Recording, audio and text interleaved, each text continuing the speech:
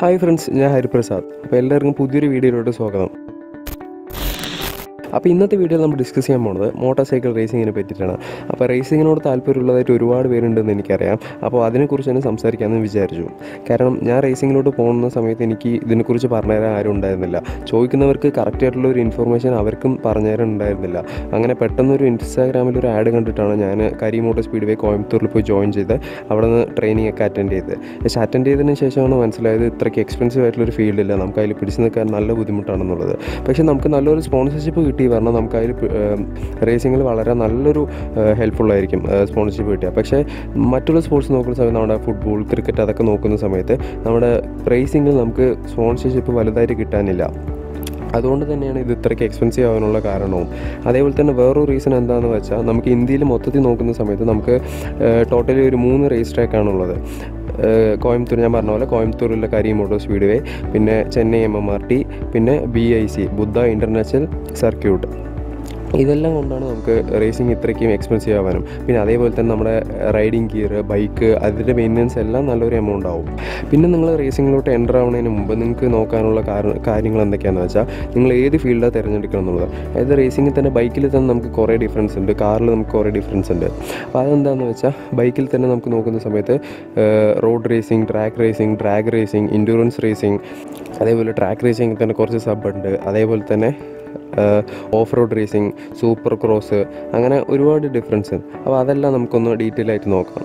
അപ്പോൾ road racing എന്ന് പറഞ്ഞ സമയത്ത് അതിലൊന്ന് മൂന്ന് ഡിഫറൻസ് വരുന്നതാണ്. ഈ ഒരു ഡ്രാഗ് റേസിംഗ് ഇൻഡ്യൂറൻസ് റേസിംഗും ട്രാക്ക് റേസിംഗും ഡ്രാഗ് റേസിംഗ് എന്ന് വെച്ചാൽ എല്ലാവർക്കും അറിയുന്ന പോലെ തന്നെ ഒരു ചെറിയ ഡിസ്റ്റൻസിലായിരിക്കും ഈ റേസ് ഉണ്ടാവുക.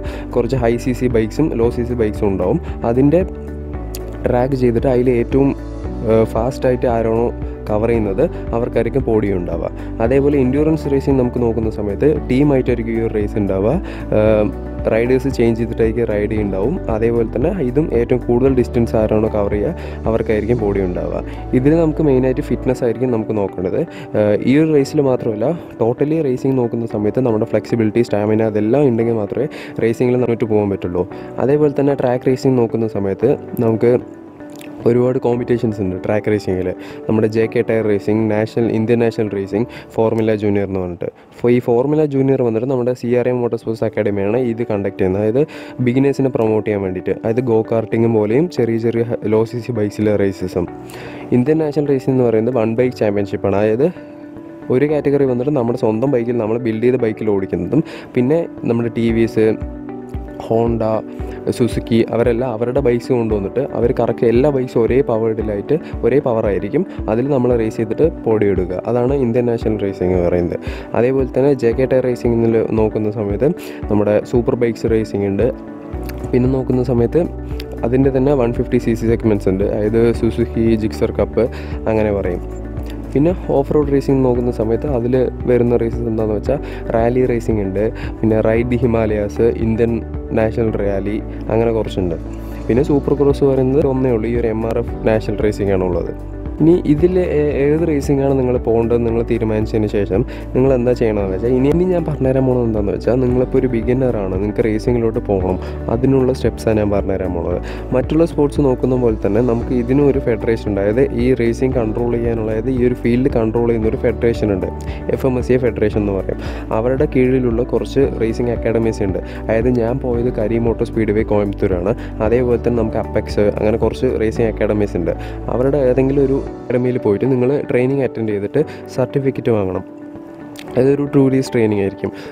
ഇതിന്റെ എക്സ്പെൻസീവ് ഞാൻ പറഞ്ഞ പോലെ തന്നെ ഞാൻ ടു ഡേയ്സ് ട്രെയിനിങ്ങിനായിരുന്നു പോയത്. എനിക്ക് വന്നത് ട്വന്റി ഫോർ തൗസൻഡ് റുപ്പീസ് ആയത് ബൈക്ക് ഞാൻ റെന്റലായിരുന്നു ഫുൾ ഗിയറും റെന്റലായിരുന്നു അപ്പോൾ എനിക്ക് വന്നത് ട്വന്റി ഫോർ തൗസൻഡ് റുപ്പീസാണ് പ്ലസ് ഞാൻ ഒരു ഹെൽമെറ്റ് വാങ്ങി കെ വൈ ടിയുടെ അതിനും എനിക്ക് സെവൻ തൗസൻഡ് റുപ്പീസ് വന്നു. അപ്പോൾ ഇപ്പോഴേ നിങ്ങൾക്ക് മനസ്സിലായി എന്റെ എത്ര എക്സ്പെൻസീവ് ആണ്. അതായത് ടു ഡേയ്സ് ട്രെയിനിങ്ങിനാണ് ഞാൻ എത്രയും പൈസ മുടക്കിയത് അപ്പോൾ ഇപ്പോൾ മനസ്സിലായി എന്റെ പോലെ എത്ര എക്സ്പെൻസീവ് ആണെന്നുള്ളത് അതേപോലെ അടുത്ത സ്റ്റെപ്പ് എന്താണെന്ന് വെച്ചാൽ നിങ്ങൾ പ്രാക്ടീസ് ചെയ്യണം. നല്ലോണം പ്രാക്ടീസ് ചെയ്ത് നിങ്ങളൊരു സ്റ്റേജ് എത്തണം. റേസിങ്ങിലോട്ട് പങ്കെടുക്കുക എന്നുള്ള സ്റ്റേജ് എത്തിക്കഴിഞ്ഞു വെച്ചാൽ നിങ്ങൾക്ക് ബിഗിനേഴ്സിന് വേണ്ടിയിട്ട് കുറച്ച് കുറച്ച് നാഷണൽ റേസിംഗ് ഞാൻ പറഞ്ഞ പോലെ നേരത്തെ പറഞ്ഞ പോലത്തെ കുറച്ച് റേസിംഗ് ഒക്കെ ഉണ്ട്. അപ്പോൾ അതിലെല്ലാം പോയിട്ട് നിങ്ങളെ പങ്കെടുത്ത് പോഡിയംസ് എല്ലാം വാങ്ങണം. അതിനുശേഷം സ്റ്റെപ്പ് ബൈ സ്റ്റെപ്പായിട്ട് വേണം ഓരോ റേസിങ്ങിലോട്ട് പോകാൻ ഇതാണ്. ഇത്രയും സിമ്പിളാണ് ഇതിന്റെ സ്റ്റെപ്സ് വളരെ സിമ്പിളാണ് പക്ഷേ നമുക്ക് പ്രാക്ടീസ് ചെയ്ത് അത്രയ്ക്കും ഒരു ലെവലിലേക്ക് എത്തണം എന്ന് വെച്ചാൽ വളരെ ബുദ്ധിമുട്ടായിട്ടുള്ളൊരു കാര്യമാണ്. മറ്റുള്ള സ്പോർട്സ് പോലെ തന്നെ നല്ലോണം ഹാർഡ് വർക്കും ഉണ്ടെങ്കിൽ മാത്രമേ ഈ ഒരു ഫീൽഡിൽ പിടിച്ച് നിൽക്കാൻ പറ്റുള്ളൂ.